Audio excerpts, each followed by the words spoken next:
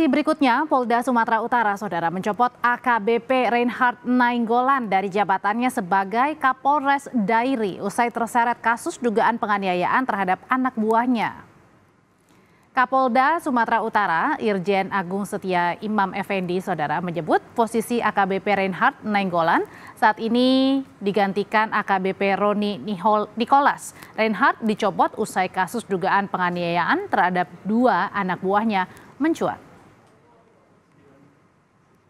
Hari ini masih dilakukan pemeriksaan terhadap AKBP RHN untuk menjamin pelaksanaan tugas memelihara Kamtipmas dan melayani masyarakat.